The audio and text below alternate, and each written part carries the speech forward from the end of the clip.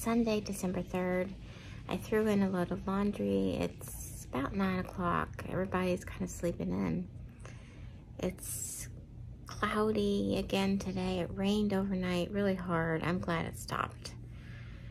Um, yeah, I've cut the tree light on and it's just really pretty quiet, nice. I didn't put all our Christmas ornaments on the tree this year. I tell you, I put it up several days ago and I love Christmas, as I've said, and I love a Christmas tree. It's just magical, you know? And with everything that's gone on with, oh my goodness, this year, I don't feel festive, obviously, but I feel like I need to continue to go through, you know, the things to keep myself, you know, upright. Sorry if you hear my laundry going. But regarding the Christmas tree, I didn't have the energy to put up all the Christmas decorations. Uh, we have a lot of ornaments, obviously. Through the years, we've accumulated. I love Christmas ornaments. Yeah, but I got the lights on and a few ornaments and I had gotten these really pretty, they're not glass, they're plastic. They're like a really pretty pink ball ornaments. I got an assortment of them at Target at clearance last year and so those are all on the tree and they're really pretty. And I'm thinking I might go up to Target today or somewhere, maybe Crate and Barrel, and find a few ornaments and add them. It might perk me up. Anywho, I need coffee. I need coffee. And the cat keeps telling me she needs more food, so we'll see who wins first.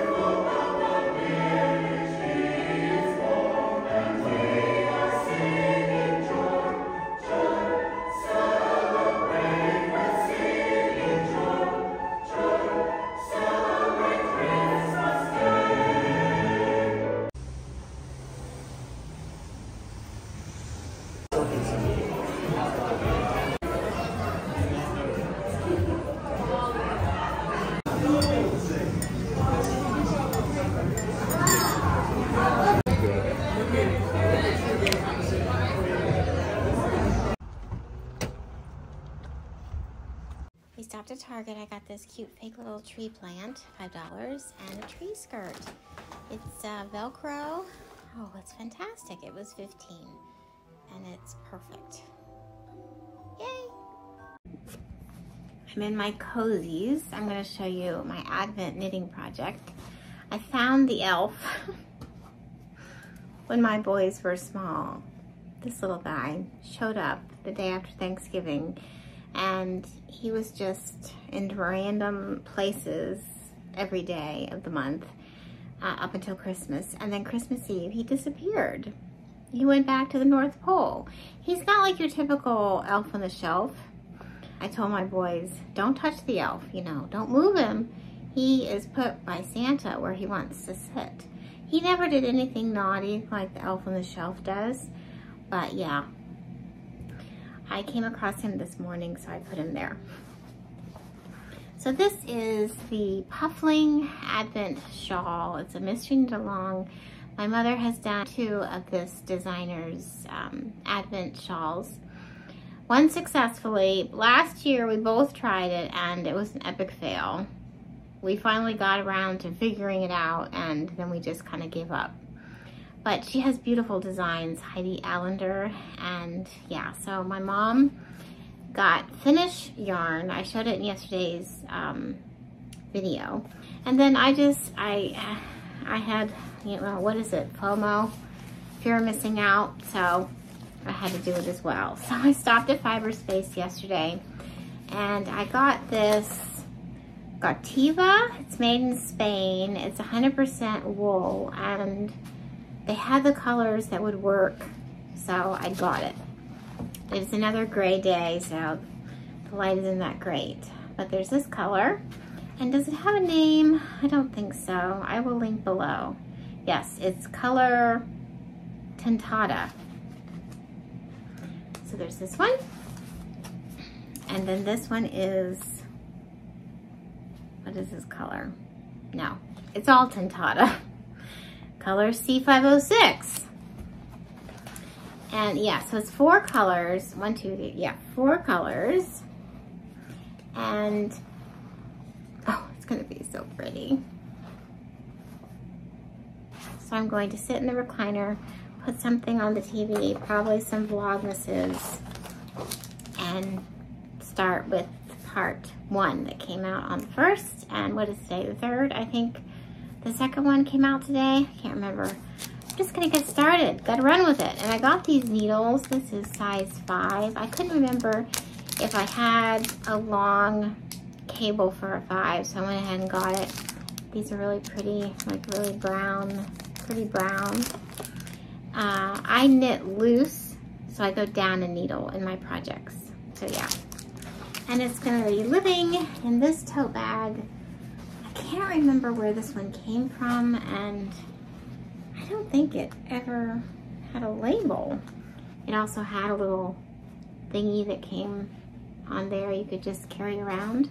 Project's gonna live in here and we'll see how far I get. I have some popcorn chicken in the air fryer for Zach. They got back from the gym. Marty and I went to uh, brunch in Old Town for lunch. It was really good. I went to church, it was lovely. And after brunch, we went to Target and I got two things. I think I put the clip before this of what I got, so. Anywho, he's just chilling. So yeah. So I mentioned this morning that I was gonna get some more ornaments at Target, hopefully today, but I didn't see any that I really liked and you know, you don't wanna get them just to get them but I did get the tree skirt and I love that. So now I'm gonna wrap some presents probably this week and put them under it. I hate looking at the, the stand of the tree. I like to have a tree skirt. I usually put like a blanket, but my cat will sleep under there and then it gets all messed up and I get crazy and it ain't pretty. So this standing little tree skirt does well. So yeah, the tree is from Walmart. I got it last year. I really like it. It's a seven foot or seven and a half foot. I can't remember. But it's the biggest fake tree that we've had. We've had some interesting ones through the years. I prefer a real tree. When I was growing up, we had a real tree and we've done that many times. It smells so good, but you gotta water it and all that jazz. And this is three parts and it just hooked in and like under five minutes. So sometimes easy is just the way to go. So that was a nice investment and I really like it. So, so yeah, um, I just want to say real quick, thank you so much for the sweet comments and you know, I may sound like a broken record, but I do appreciate each and every one of you who takes the time to message me or email me or just send me a quick heart and um, you know, understanding of the grief that my family and I are going through right now with the loss of my grandmother this year and my dad. And all I can say is what I keep saying, it's too much. You know, I know there are people who have gone through and are going through much more than me, but this is what I'm experiencing and, you know, it's a lot to process, to understand and to live with.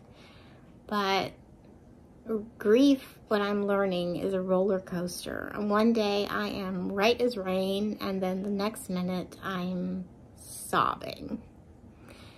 So, yeah, it's just part of life, and we will get through it, and we are all different because of it.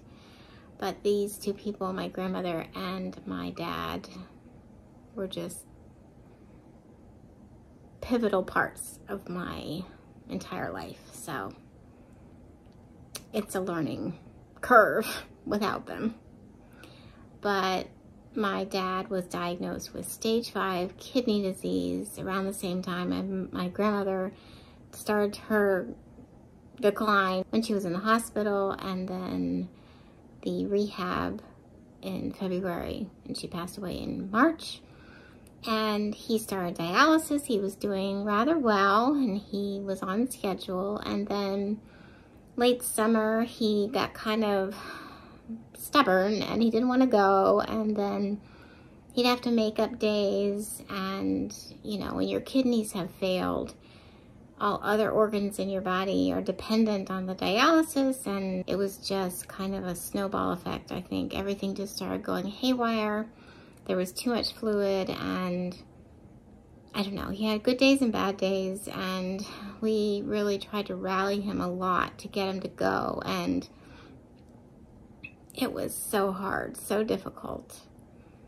And I get it. I mean, I was fortunate enough to spend one of his one of his last treatments with him for almost four hours and sitting there and seeing the physical part of it. From that aspect, I can understand his, you know, his wanting not to go. He was in the hospital two and a half weeks in October and he came home and he had to have oxygen.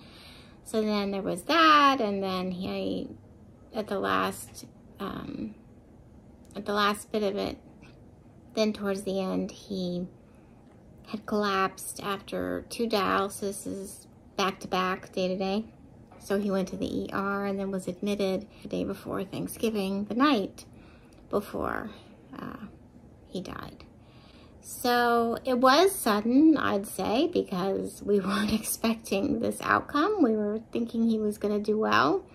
We were actually thinking a couple days before this happened that once they removed fluid from the lungs, then it would be better but it was just, it was not. So the only good news is that he's not suffering anymore. He doesn't have to have dialysis anymore, and he is in a better place. But we miss him so, so much, and it hurts, and that's the reality of it. But memories are golden.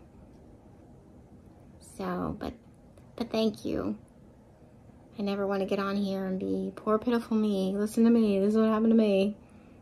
But just share my life and I do appreciate when you take the time and and just sincerely say, hey, I get it. So thank you.